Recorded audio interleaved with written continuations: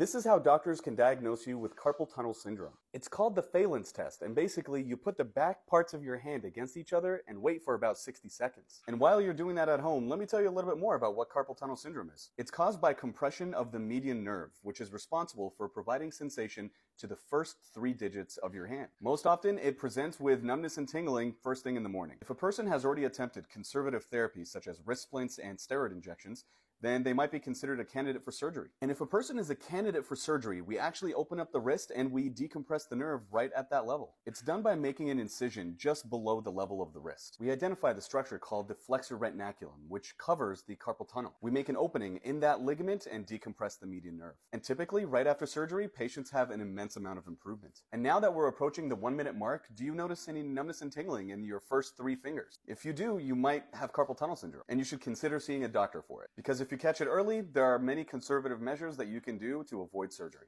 I want to hear from you. Did you try the test? Do you have numbness and tingling? Do you have carpal tunnel? Comment below. Let me know.